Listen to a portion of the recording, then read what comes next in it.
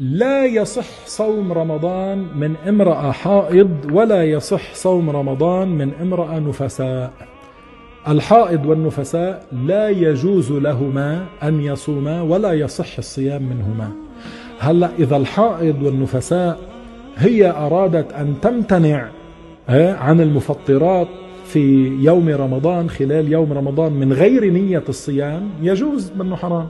يعني إذا في عندك وحدة بالبيت حائض منه واجب عليك تقول لا بدك تاكلي يوم رمضان.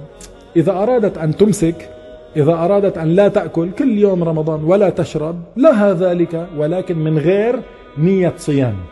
واضح؟ مش باسم أنا صايمة لا إنما هي ممتنعة عن الأكل والشرب. بدها تضعف حالها مثلا. لها ذلك. لا نرغمها على أن تتناول شيئا مفطرا في يوم رمضان. فإذا الصيام لا يصح من الامرأة الحائض ولا يصح من الامرأة النفساء ويجب عليهما ماذا؟ يجب عليهما قضاء ما فاتهما من الصيام بعد رمضان.